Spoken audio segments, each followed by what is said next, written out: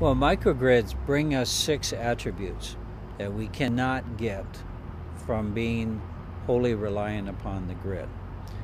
The first four are reliability of power supply to our campus and our research efforts.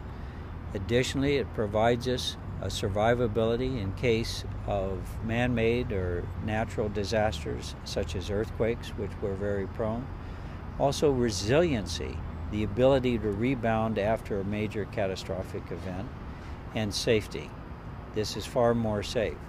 In addition to that, we produce electricity at about half the cost that it, that it would be to import from the grid, and we do it at a rate of about 25% below the greenhouse gas emissions from the California energy grid. And the California energy grid is one of the cleanest in the world.